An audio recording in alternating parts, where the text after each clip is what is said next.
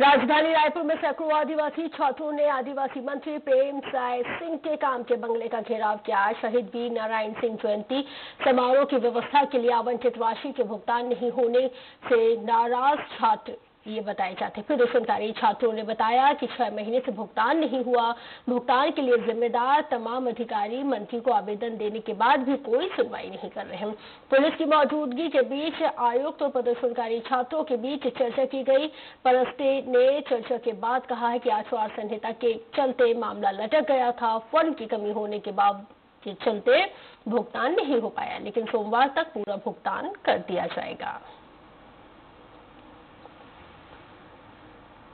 और शहीद यूनिवर्सिटी जी का पैसा जब देंगे तब हम हटेंगे ऐसा हमने खान के यहाँ बैठे थे। लेकिन अधिकारी द्वारा सोमवार को चेक मेरे हॉस्टल में भेजने का आश्वासन दिया गया है।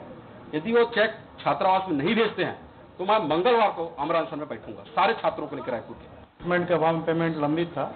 अभी हमारे सीनियर अधिकारी ने निर्देश दिया इनको मंडे को चेक दे दिया जाएगा। हम मंडे को चेक देने का आश्वासन दिया और दे भी देंगे।